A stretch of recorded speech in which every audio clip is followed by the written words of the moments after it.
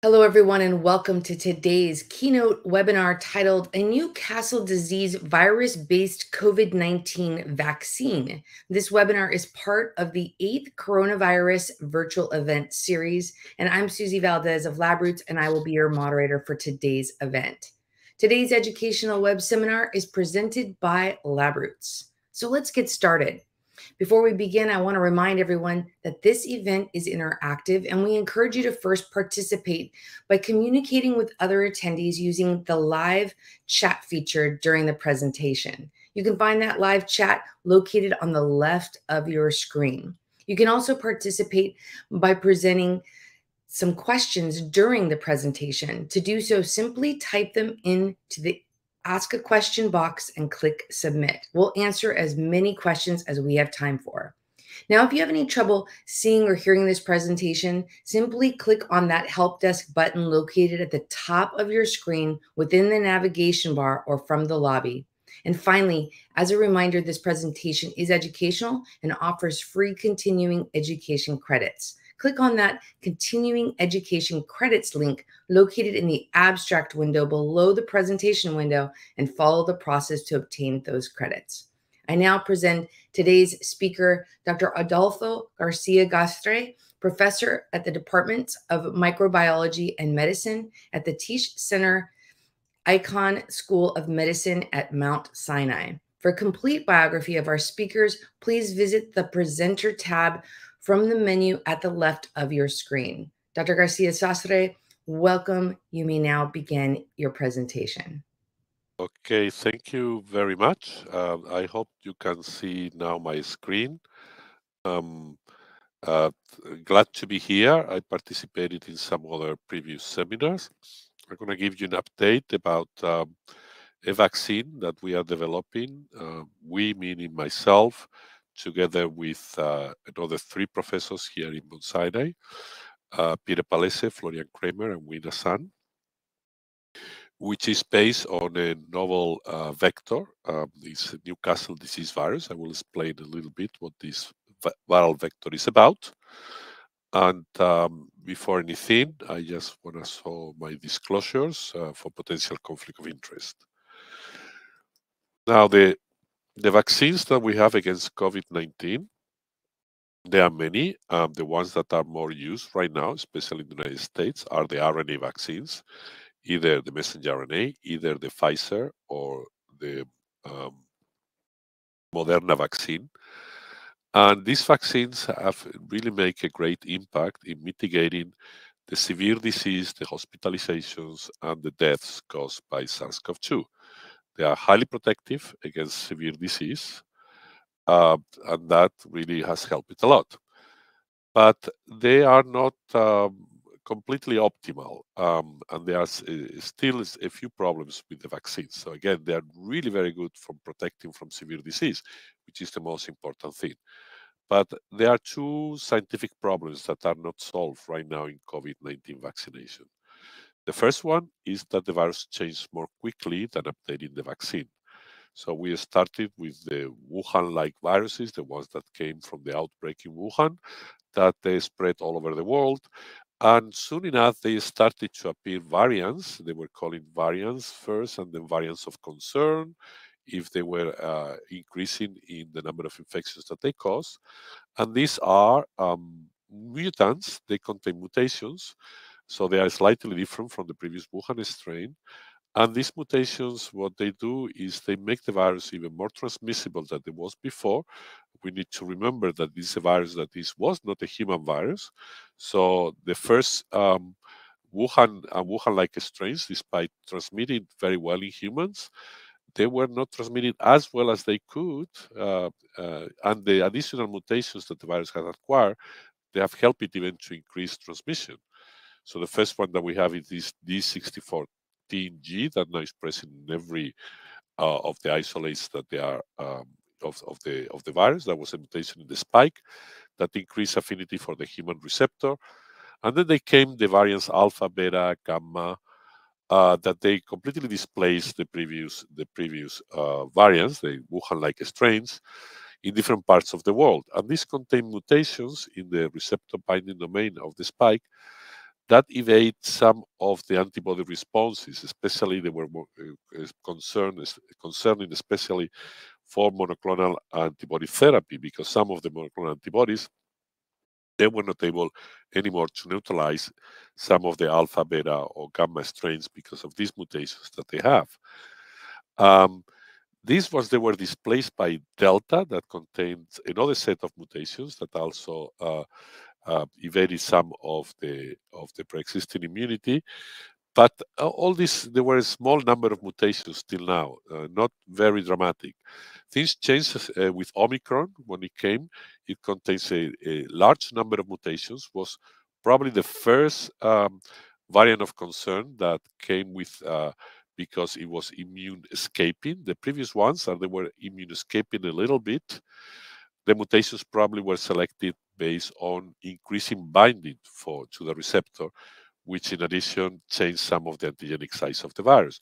Omicron came with a lot of mutations, so it was clear that it was uh, due to immune pressure. Uh, and it came at a time where there was already a large amount of people that they were either vaccinated or infected with previous strains. And uh, this uh, took us by surprise.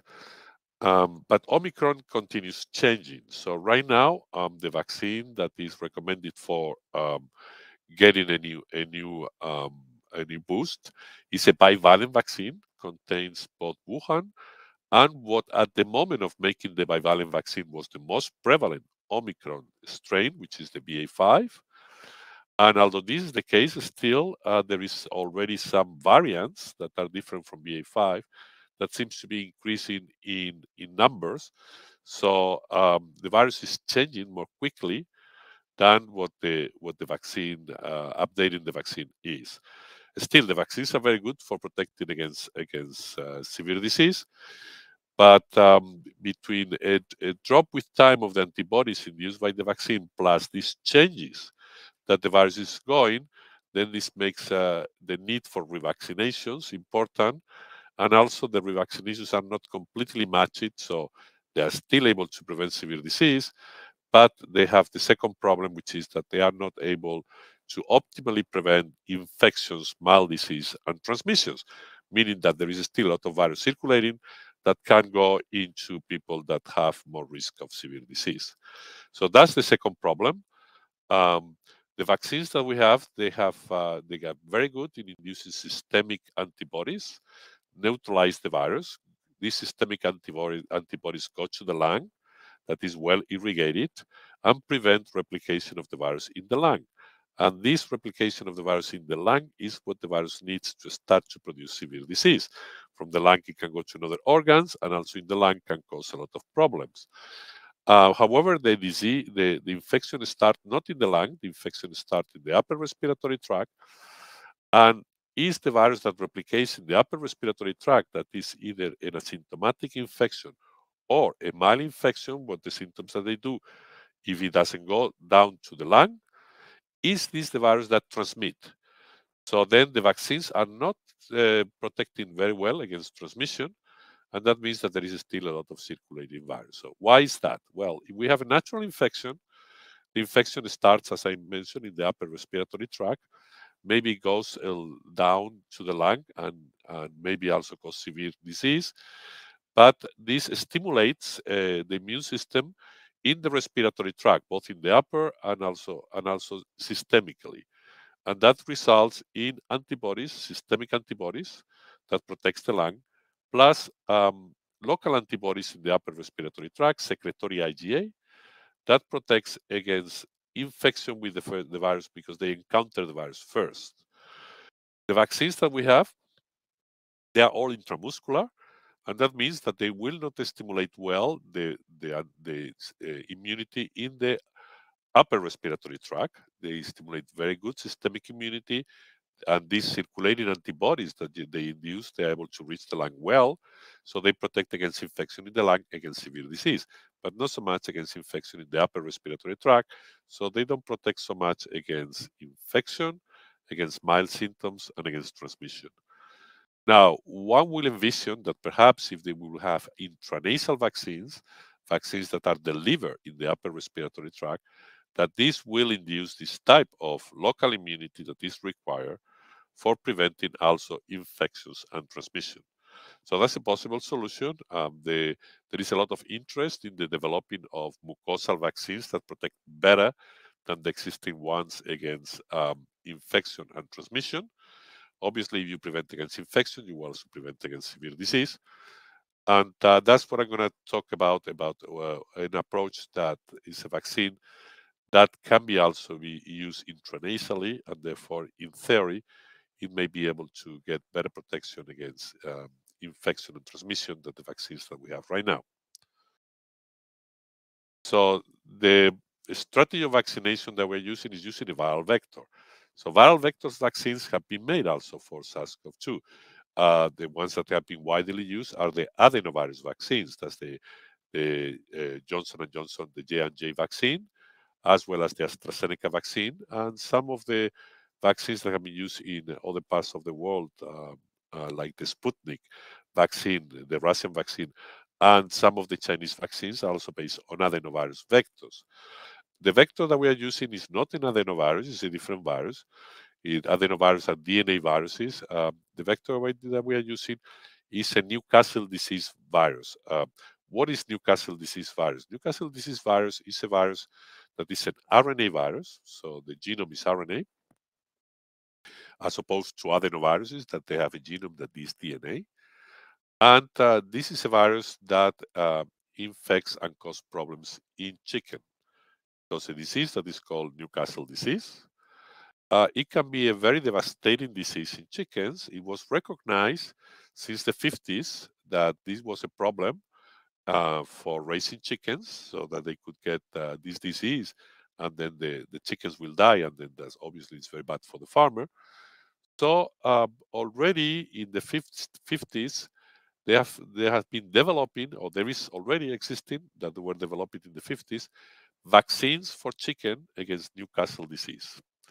And these vaccines were based on a strain of Newcastle disease virus that antigenically is very similar to the ones that they cause severe disease, but that is a strain that does not cause uh, disease in chicken.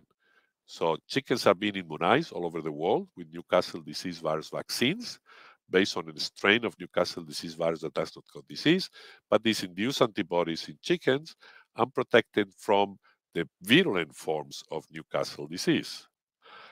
Now, uh, the virus, Newcastle disease virus, is a avian virus, is unable to cause disease, and it only induces a very small number of infections uh, or, the, or cycles of replication in mammals. And the reason is because this virus knows how to, like other viruses, how to navigate the innate immune system in order to be able to propagate in a host. And but they, they're able to navigate the innate immune system of avian species. The mammalian innate immune system is slightly different from the avian, and this avian virus is unable to prevent a good innate immune response in mammals, and this makes that is uh, uh, unable to cause disease and unable to replicate multiple cycles. But it's able to get in uh, our cells and deliver uh, a cargo, RNA, that's the genomic RNA. So one can think that it's a little bit like the RNA vaccines. You have an RNA that is uh, encapsulated now into a virus, not into a nanoparticle, and this one delivers the RNA inside the cells and then this RNA express if you you make it express the spike protein, express the spike protein, similar to the to the mRNA vaccines. Now this illustrates, for example, here we have um, three different viruses: Newcastle disease virus over NDV, dengue virus, and influenza virus. And these uh, and, and these are uh, human dendritic cells, the ones that initiate innate immune responses as well as adaptive immune responses. They need to be stimulated in order to get good antibodies and T cells. They will be the ones that will present antigen to B cells and T cells.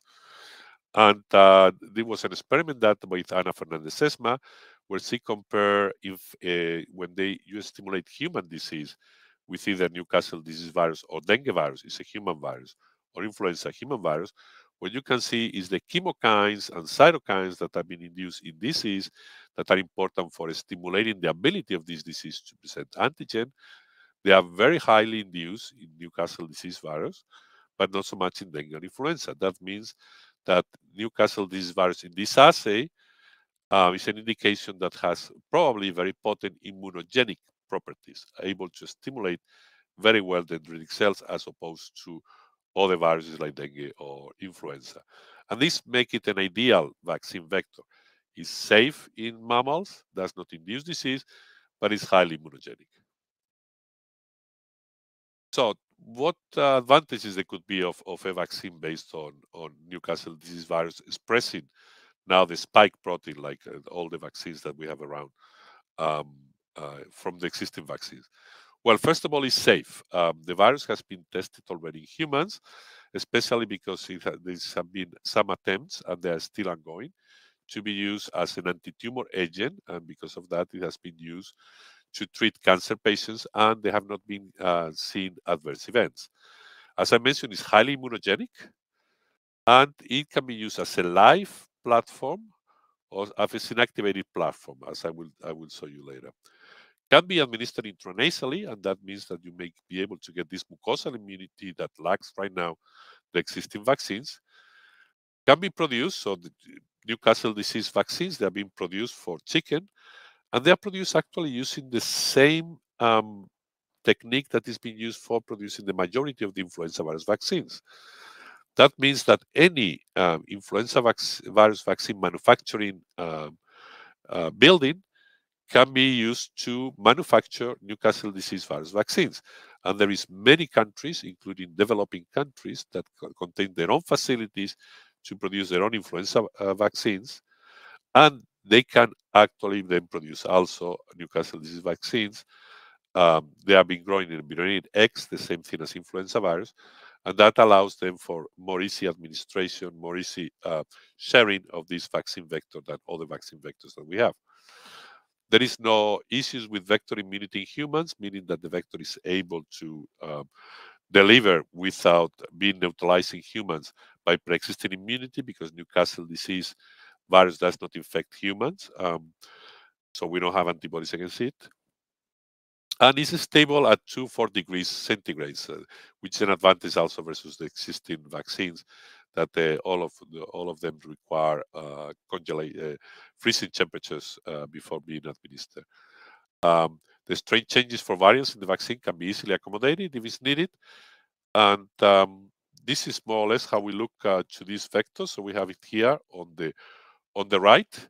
We have the Newcastle disease virus-based vaccine. As you can see, it's like a virus particle, but contains incorporated spikes um, of SARS-CoV-2 into the virus particle and also contains an RNA genome, which is inside the virus, in which we have inserted the gene that encodes the spike.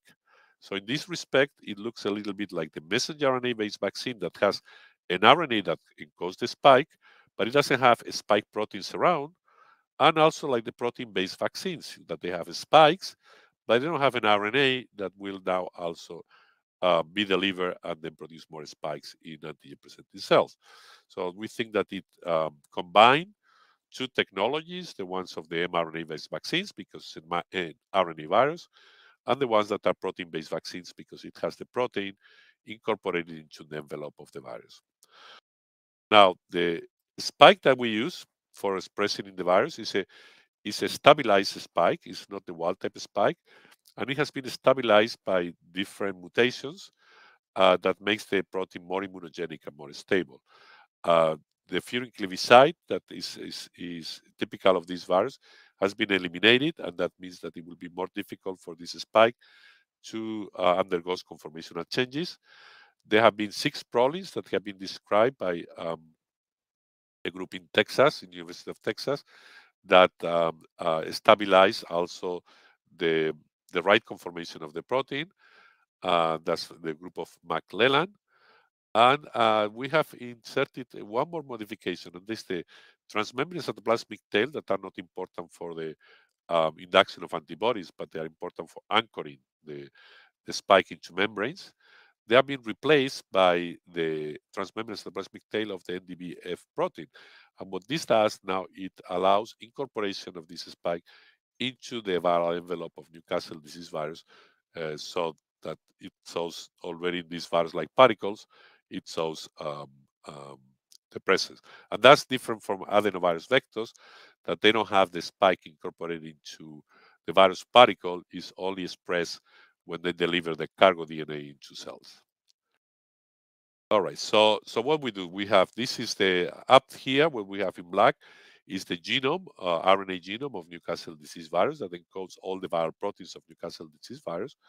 We add one more protein, this uh, stabilized hexapro spike, and then we we rescue virus uh, that contains now uh, the spike incorporated into the RNA genome, so it will express this spike when the RNA genome is being delivered into cells as well as has the spike, as I mentioned, incorporated into the virion envelope.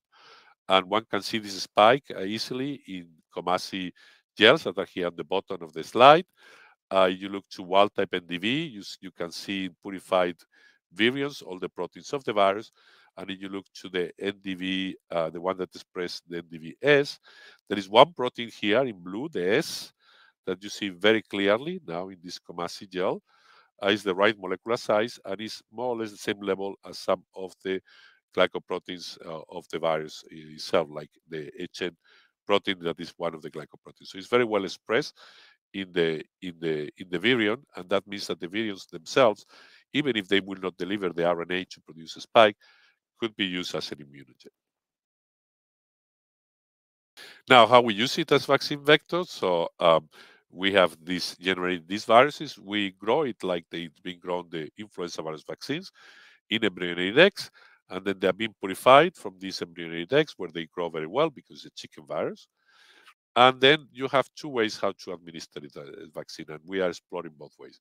First one is we you inactivate it, and then you have a, a particle that contains the spikes, and, and you use you can use it then for intramuscular immunization. The same thing as the protein vaccines are being used, for example, the Novavax vaccine. Uh, or you can use it live because uh, it's, it's, live, and then you can use it intranasally in order to try to stimulate better mucosal immunity. It will both has the antigen in the virion as well as now in the case of the live virus, it will be able to deliver this RNA into cells and then express a spike and then stimulate also in this, such a way mucosal immunity.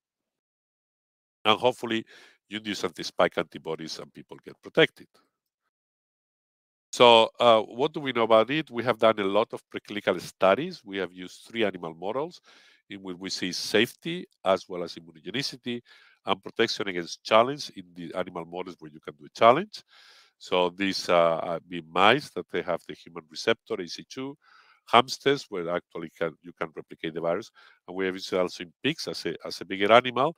Pigs cannot be challenged by SARS-CoV-2, but at least you can measure neutralizing antibodies, and you get very good neutralizing antibodies. In the mice and in the hamsters, we get very good protection. And we have tried three vaccination regimens, inactivated vaccines into um, uh, two shots, like normally for the for the normal vaccines.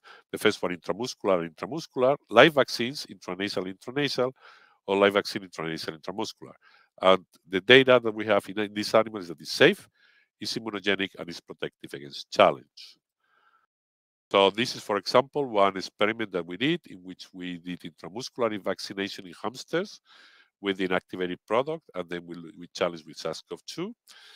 Two immunizations, prime at day zero, boost at day 21. And then 18 days uh, later, we challenge with, uh, with SARS-CoV-2 with replication in hamsters and induced disease. First of all, you get uh, down here good induction of antibodies that have been used even without adjuvant. They induce here in, in green. They induce very good levels of antibodies. You don't use you don't need to use an adjuvant. And then when we challenge, what we see is that here in the the healthy controls are the black line. They don't lose weight, or they lose a little bit weight in the beginning of the experiment, but uh, these are not infected, so they are healthy. And then we see the, the red line. These are the immunized animals, and they are also not losing weight, so they are being protected against disease uh, as compared to the controls, which are gray, that uh, get the body weight drop around 10% uh, of body weight drop. And then if we look to replication of the, virus of the virus in these animals, vaccinated animals, all vaccinated animals, they don't have viruses in the lung, in two different lobes of the of the lung, the, the upper right lobe or the lower right lobe at day two uh, as compared to controls, or at day five as compared to controls. So it's very good protecting from infection these, these animals. Uh, if we do intranasal vaccination, we get also very good levels of antibodies uh, in sera, as well as very good protection. Here, the blue line is the one, the vaccinated animals, and that they have been challenged, they don't lose any weight, they look like the healthy controls. And when we look uh, to virus replication in these intranasally vaccinated animals, we also don't see replication of the virus in the lung at day two or at day five, but importantly, we also don't see replication of the virus in nasal washes in the upper respiratory tract, indicating that they have been protected not only against replication in the lung, but also replication in the upper respiratory tract by this intranasal immunization. Now we have been exploring more the intranasal immunization in, in, terms of what type of immune response we will use in mice um, that they have been again prime and then boost um, with different doses, 10 to the 5 or 10 to the 6, two vaccinations, one vaccination using controls, and then we look uh, now to uh, serum antibodies, but also um, nasal antibodies, so IgA in the nasal secretions, IgA in the in the lung, um, pulmonary T cell responses, presence of CD8 resident memory T cells. Um, when we do that, um, we see with uh, 10 to the 6 and 10 to the 5 two times, very good induction of anti-S serum IgG. This is again intranasal immunization. If we look now to IgA, presence of IgA in nasal washes, we also see nice levels of IgA in nasal washes also IgA present in the in the bronchi. Um, in, in using two different two different assays here, and um, we see that the second immunization boosts this IgA titers. And now, if we look to uh, T cells, resident T cells, we see that the vaccination with the higher dose induce uh, uh, nice levels of uh, tissue resident CD8 positive cells in the lung, as well as in the bronchi. Now, if we immunize these mice and now we challenge them, not only with the homologous variant, but also with some of the variants that are different, like the uh, beta variant or like the uh, gamma variant, what we see is uh, there is good protection as also against challenge with variants. We did that uh, also uh, this before Omicron. With Omicron, we get also some protection, so that seems good. But uh, we get even better protection when we use multivalent vaccines um, uh, that can be also be used in these animals. All this preclinical data has resulted in, in launching clinical trials. We have been able to do so thanks to the help of non-profit organizations like PATH, like the Gates Foundation, and the governments from different countries like Thailand, Vietnam, and Brazil that have been sponsoring the human clinical trials.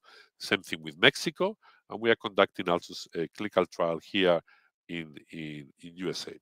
So the ones that are more advanced are the ones in Thailand, Vietnam, and Brazil.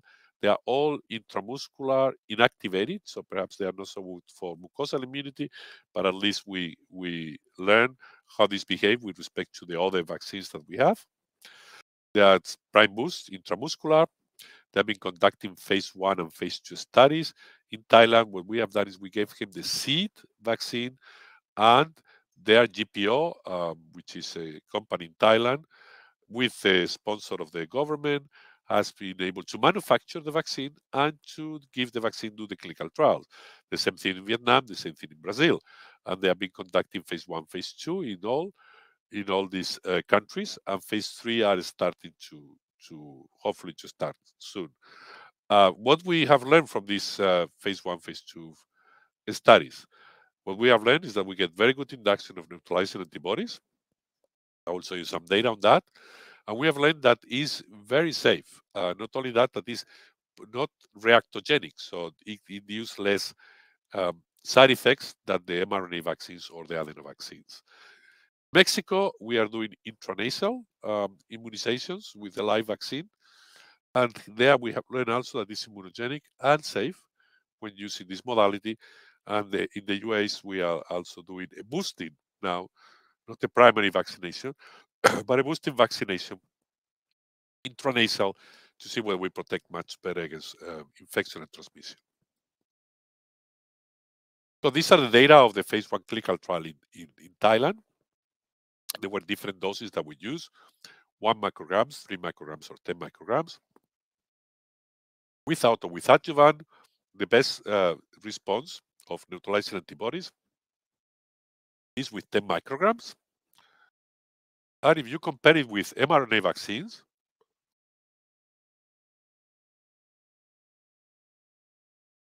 it looks like you get slightly better induction of neutralizing antibodies, statistically not significant, but it looks slightly better. So non-inferior with respect to the mRNA vaccines for induction of neutralizing antibodies. If we look to the data um, in uh, in Vietnam, phase two, this one uh, there was uh, uh 124 individuals that they they received three micrograms, 125 that received six micrograms, and then a group that received the AstraZeneca vaccine, 125. And when you look to induction of, of neutralizing antibodies, we get approximately double amount of neutralizing antibodies with the MDV vaccine as compared to the AstraZeneca adenovirus vaccine. Meaning in this case superior with uh, respect to induction of neutralizing antibodies than the AstraZeneca vaccine.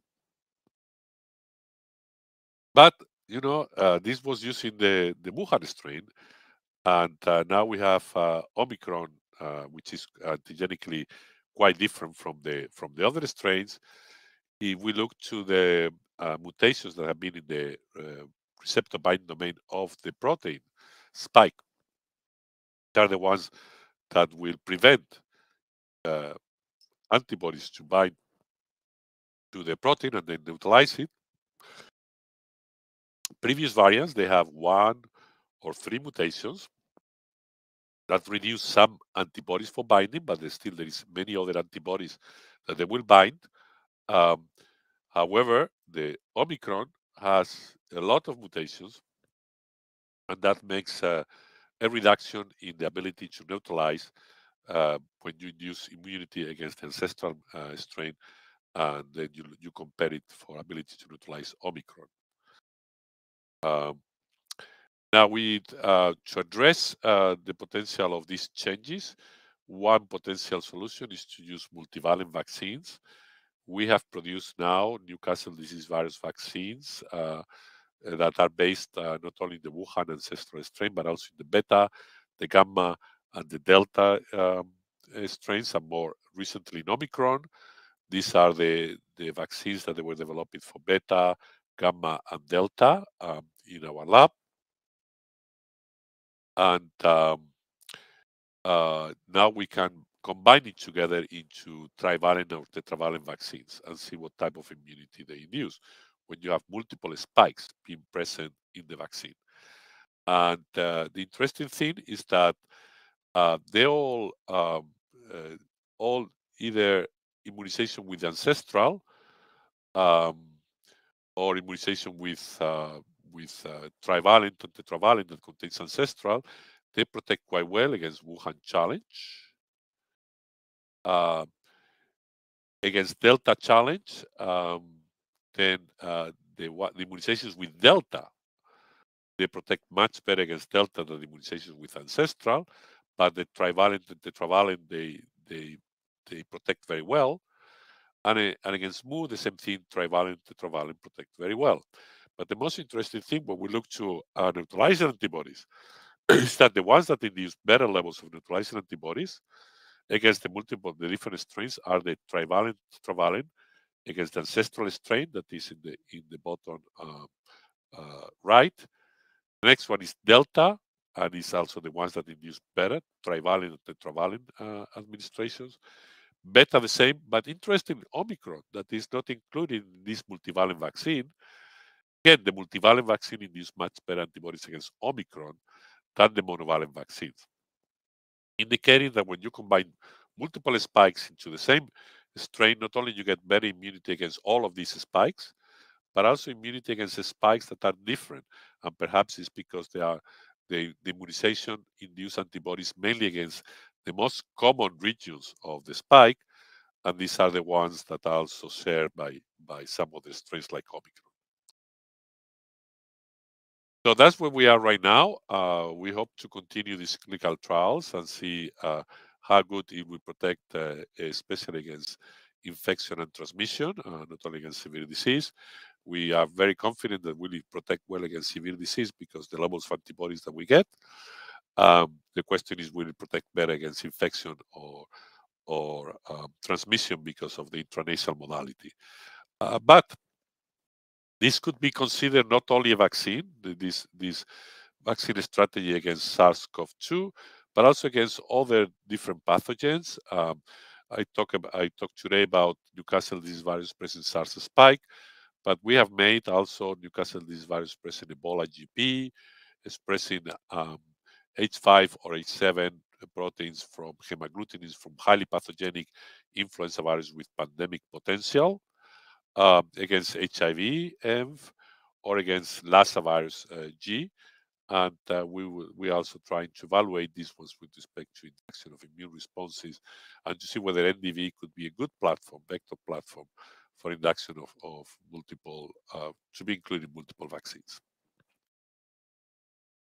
so in summary, uh, I show you how Newcastle disease virus or NDV vaccine vectors, uh, how we have developed these vectors, that we have developed against multiple human and veterinarian disease. We have actually a vaccine that is being used in Mexico, uh, where uh, Newcastle disease virus expressing uh, hemagglutinin of an uh, avian influenza virus is being used as dual vaccine against Newcastle and against influenza in chicken. Um, I've shown you how an NDV expressing SARS-CoV-2 ExaPro is induced potent protection from virus infection, both in lungs and nose of hamsters after intranasal immunization. How immunized mice with NDV expressing SARS-CoV-2 ExaPro are protected against challenges with new variants, especially when we use uh, multivalent vaccines. And then the phase one and two trials that have been conducted in Vietnam, Thailand, Brazil, and Mexico. Mexico, again, we use a live modality and it seems to be safe and immunogenic. Um, phase three trials are about to start in, uh, in Thailand mainly. And these data uh, indicate good safety and immunogenicity profiles. Uh, so obviously this is a big enterprise, uh, so multiple labs have been collaborating these uh, studies as well as multiple institutions, especially uh, the governments of uh, Brazil, and the Institute Butantan, GPO, and, and, the government of Thailand, IVAC, and the, and the government of Vietnam, but also Avimex in Mexico, Dynavax for providing some adjuvant, the Gates Foundation, NIAID, and uh, different funding agencies. So thanks, and uh, I will take questions. It's still important to get vaccinated uh, because immunity is waning, and hopefully we'll get better vaccines, even than the one that we have right now soon. Thank you, Dr. Garcia Sastre, for that informative presentation. And we will now start the live Q&A portion of this webinar. If you have any questions you want to ask, please do so now. Just click on that Ask a Question box located on the far left of your screen. So let's get started. It looks like we already have some questions coming in. Our first question How important are T cell responses for protection against SARS CoV 2 infection? So that's that's something that um, been uh, um, uh, studied in multiple labs. I think the best evidence have come from uh, the lab of, of uh, Dan Baruch using um, actually adenovirus vaccines where he sees if he immunized monkeys with uh, adenovirus vaccines and he deplete of T cells these monkeys, then they are not as good protected against uh, infection. So neutralizing antibodies play a very important role. But T cells seems to contribute also to protection, especially against severe disease. Perhaps not so much against infection, because they eliminate infected cells, but against severe disease um, and further replication of the virus, they seem to be quite important.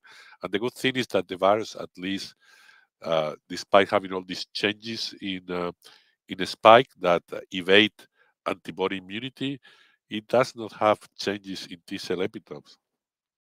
So there is still some protection that is being induced by the vaccine that is T cell mediated that has not changed. The only thing is that T cells alone are not able to prevent infections, the same thing as antibodies, systemic antibodies alone, they are not able to, protect, to uh, prevent infections. Is this mucosal immunity what we need uh, in order to prevent infections and transmission? Thank you so much. And our next audience member asks, can SARS-CoV-2 and influenza virus co-circulate? Okay, so we we have not seen too much co-circulation of SARS-CoV-2 with flu in the past, but most of it we believe is due to that the mitigation um, measures that they were put it in the multiple countries to try to reduce the number of infections work it actually better against flu than what was working against SARS-CoV-2. Perhaps because uh, with flu we have already some pre-existing immunity that in addition to other mitigation like uh, use of masks by by multiple people, um, the social distancing, etc., has reduced a lot circulation of flu. Now this seems to be over, so now flu is coming. In the past, there have been seen some co-infections between SARS-CoV-2 and influenza. Uh, how common this will be is unclear. Uh, the data there with a few co-infections that happen in humans at least indicate that they are not more severe, so that's a good that's a good sign. But obviously, circulating both viruses at the same time uh, can increase the number of cases that they need to be uh, hospitalized because you have already flu that causes a, a, a burden uh, every year, and some years are worse than others in terms of hospitalized people and whatever is still happening with SARS-CoV-2.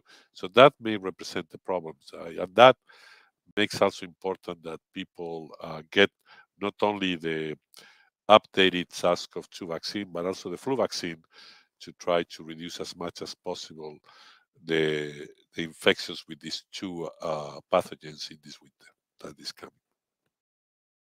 Thank you so much, Dr. Garcia Sastre. And I want to thank our audience for these great questions that are coming in. Our next question the NDV HXPS virus, either in whole or in part, any evidence that it crosses blood brain barrier or cross placenta into the fetus and this refers to multivariant vaccines and even different administration methods. Yeah, so uh, the level of replication that we see of Newcastle disease virus in animals as well that are not avian species because avian is different they get more levels of replication um, because it's the avian virus but in uh, animals uh, the preclinical and now with the data that we are uh, getting from uh, um, people, we actually cannot recover infectious viruses. So it looks like it gets in. We can detect RNA for a couple of days. We only can detect RNA in the upper respiratory tract, uh, and then and then it's gone. Um, uh, so it seems to be very deficient in terms of making infectious viruses and it seems mainly to um, produce a spike locally in the places where it's been administered, both in the clinical trials, which is one of the things that we know now about it, but also in the in the animal models that we have used. Now, in, in chicken is different, uh, but in chicken, uh, the approach for the vaccination is that the vaccine virus is extremely attenuated, so it replicates, but does not induce disease in chicken. Thank you so much. We have another question coming in. Is lumpy skin disease virus curable? And this is a two part question. Are there, as there is no vaccine yet made, is it more dangerous than Newcastle disease and coronavirus? Well, I'm less familiar with this virus, so I cannot uh, actually uh, tell you um, too much too much about it. Um, corona now are, are, a big problem because uh, what happened with the pandemic. Um, and, um, and uh, but I, I know very little about the lumpy skin uh, disease virus. Dr. Garcia Sastre, I want to thank you for your presentation today. Would you like to provide any closing remarks for our audience before we go? Well, you know, I think the most important thing is that despite the fact that the vaccines can be improved, the vaccines are still the best way how to reduce the burden that this virus is, is causing. And because of this waning of immunity that happens, as well as the changes antigenically, it, people are much better off if they get now the bivalent vaccine in terms of boosting up again the levels of antibodies the higher than what it is right now with uh, with natural infections or, previous vaccinations uh, that will be able to uh, provide at the end better protection against the new variants that are circulating. And again, what I mentioned uh, is also important um, to reduce influenza burden in the community um, in order to protect our um, uh, high risk groups. Uh, so, um, and the vaccination can be done at the same time for uh, COVID-19 and for flu. Uh, and that's that's a way how to get, you know, with a single uh, visit to the pharmacy, getting the vaccination against the bivalent and against flu. Um, that that's that's the ideal thing that people can do in order to protect much better themselves as well as the rest of the community. Well, I want to thank you again, Dr. Garcia Sastre, for your time and for your important research. And before we go, I want to thank our audience for joining us today and for their interesting questions.